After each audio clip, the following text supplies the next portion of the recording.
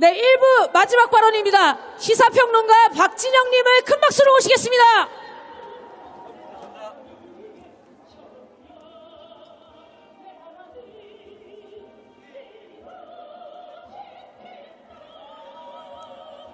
아, 예. 국민 여러분 안녕하세요.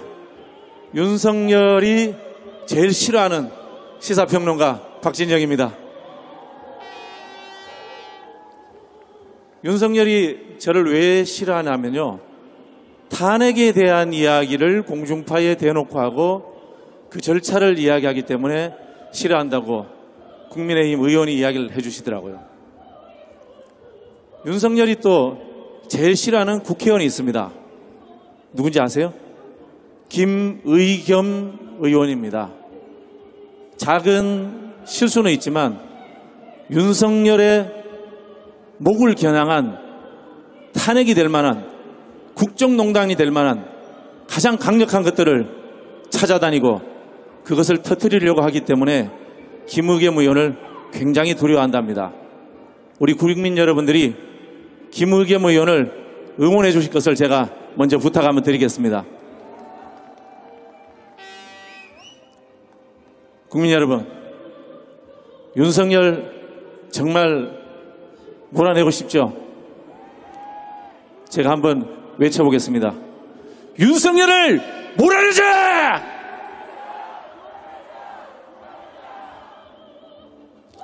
제가 오늘 여기 온 것은 여러분들께 윤석열을 몰아내는 방법을 잠깐 상의드리기 위해서 올라왔습니다.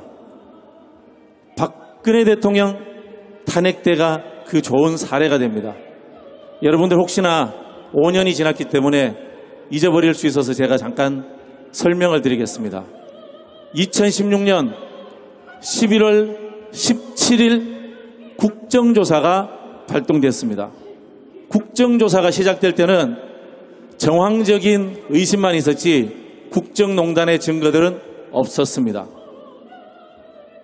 국정조사를 하다 보니까 증언과 제보가 터져 나옵니다. 이름 기억하실지 모르겠습니다. 노승일, 고영태 뭐 이런 사람들 이름 나왔습니다. 전국에서 수많은 제보들이 나왔습니다.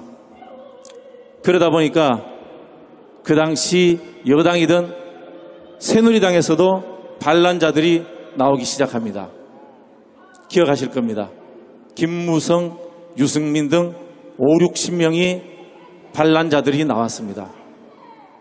그들이 참여해서 12월 9일 날 국정조사가 탄핵 시작된 지 21일이 지나고 수많은 증언과 제보들이 나온 지 21일 후에 국회에서 탄핵 소추가 통과됐습니다. 234명입니다. 60명은 그 당시 박근혜 당이었습니다. 자, 그때도 박근혜 탄핵의 법률적 증거는 나오지 않았습니다. 여러분들이 기억하시는 태블릿 PC라든가 그런 것들 나오지 않았습니다. 증거가 있지 않았는데도 국회는 탄핵을 했습니다. 왜 탄핵을 했을까요? 어떻게 할 수 있을까요? 탄핵은 지극히 정치적인 행위이기 때문에 그렇습니다. 대한민국 헌법은 형법상의 범죄자만 탄핵하는 것이 아니라 헌법을 지키지 못하는 철학적 가치를 지키지 못하는 무능한 사람, 무책임한 사람도 탄핵할 수 있다는 탄핵 규정이 있기 때문입니다.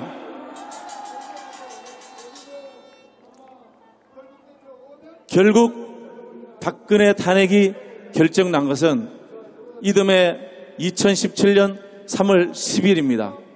그 중간에 12월 말에 박영수, 윤석열 등이 참여하는 특검이 만들어지고 거기서 형법상의 범죄자가 될 만한 증거를 찾아낸 것입니다.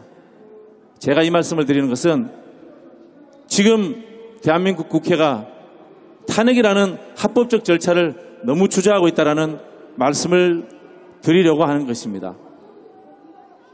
저희가 열심히 싸우고 있습니다만은 저 극악무도한 사람이 그냥 물러날 사람이 아닙니다. 저 사람 또 법조인입니다. 법에 의해서 본인이 쫓겨날 가능성이 있다. 그런 생각이 들어야만이 퇴진이라도 하는 것입니다. 그래서 제가 오늘 여러분께 세 가지 정도 말씀을 드리려고 합니다.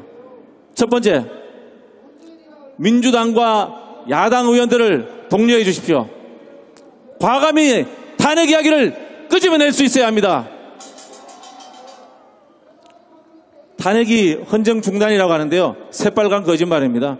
탄핵은 헌법에 포함되어 있는 바로 헌정 질서입니다. 그래서 두려움 없이 탄핵 이야기가 나오도록 해 주십시오. 두 번째는 국민의힘의 중도적인 의원, 합리적인 의원 있다고 참 가정하고 싶습니다. 일부라도. 그런 사람들에게 저희가 따뜻한 참 따뜻하기도 하- 하기 참 힘듭니다만은 전술적으로라도 지역에서 만나면은 그런 이야기를 해 주십시오. 어, 당신 국회의원 다시 한번 해도 좋다. 그러나 윤석열 치하만은 도저히 용서할 수 없다. 그런 식으로 국민의힘의 반란자가 나올 수 있는 토대를 지역에서부터 만들어 주십시오. 그리고 세 번째는 국정조사 와중에 제보라든가 제안 그런 것들을 많이 해주셔야 됩니다. 대한민국 알다시피 영고주의 사회입니다. 한 두 꼭지만 돌았으면 아는 사람 생길 수 있습니다. 지금 천공인이 무슨 뭐 법산이 하는 사람들의 이야기가 우리도 조금만 관심 가지면 그 사람들의 인간관계에 접근할 수 일이 생길 수 있습니다. 그런 것들에 대해서 여러분들이 주위에서 들으면 잊지 마시고 꼭 국정조사에 제보해달라 그 말씀 드리겠습니다. 그리고 마지막 하나 여론조사 전화 꼭 받아주십시오. 지금 윤석열 여론조사가 그나마 저 정도 나오는 것은 보수층들이 열성적으로 여론조사 전화를 받아주기 때문에 그렇습니다. 보통 내각제 국가에서는 여론조사가 25% 미만으로 떨어지면 내각이 총사퇴한다고 합니다. 대한민국도 물론 뭐 윤석열이 사퇴할 사람은 아닙니다만은 국회의 국회의원들의 생각이 바뀝니다. 여론조사가 25% 미만으로 떨어지면 그리고 헌법재판소에서 판단할 때 국민 여론의 눈치를 봅니다.